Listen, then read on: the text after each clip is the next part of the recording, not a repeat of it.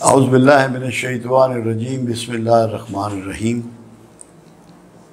पहला सवाल है, क्या ये कहना सही है कि शैतान ने हमें वर्गलाया? शैतान से पहले कोई शैतान नहीं था तो उसको किसने वर्गलाया? कुरान हकीम ने इसको वादे किया कि शैतान ने ये गुस्ताखी की कि परवरदिगार आलम को कहा कि तूने मुझे वर्गलाया है। अब मैं तेरे बंदों को वर्गलाऊँगा उनके रास्ते में बैठूँगा, उन्हें दाएँ बाएँ, आगे पीछे से घेरूँगा। तो अब सोचना ये है कि शैतान को किसने वर्गलाया उसके अपने नफ्स ने। हमारा जो सबसे बड़ा दुश्मन है, वो हमारा अपना नफ्स है, जो हमें फ़रेब देता है और बुराइयों पे उकसाता है ख्वाहिशें पैदा करता है।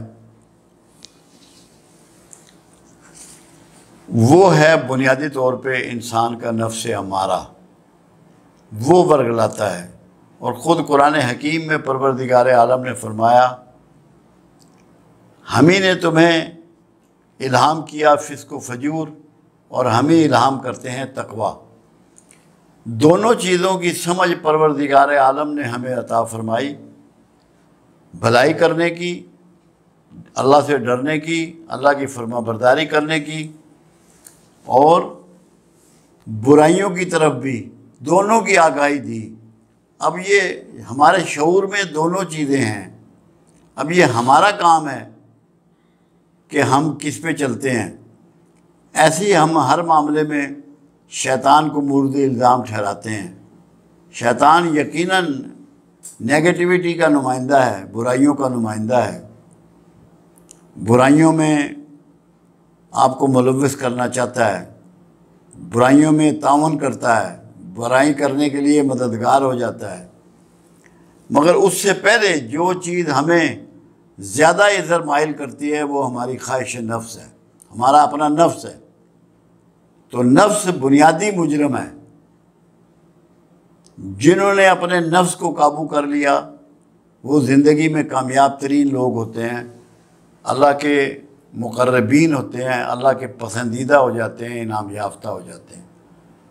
तो जो चीज़ आपको शैतान से भी बढ़ के बरगलाने वाली है, वो आपका नफ्स है, नफ्स हमारा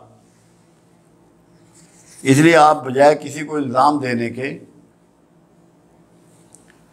ये सोचें कि अपने नफ्स को आपने दुरुस्त करना है, नफ्स की हालत को दुरुस्त करना है।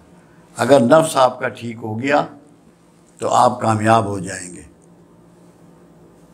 शैतान से तो आपको अल्लाह ने अपनी पनाह मांगने के लिए हुक्म किया है कि तऊस सिखाया आउज़ बिल्ला मैंने शैतवान रजीम। कि अल्लाह तो हमें शैतान मरदूस से अपनी पनाह में रख। इसका मतलब यह है कि आपके पास कोई ऐसा हथियार नहीं है जिससे आप शैतान को ख़त्म कर सकें। क्योंकि अल्लाह ने उसको क़्यामत तक के दिन के लिए आज़ाद किया है कि तू आज़ाद है क़्यामत तक के दिन के लिए।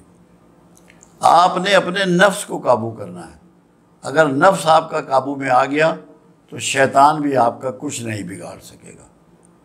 तो ये वो असल बीमारी जो है, वो आपके नफ्स में पोशीता है।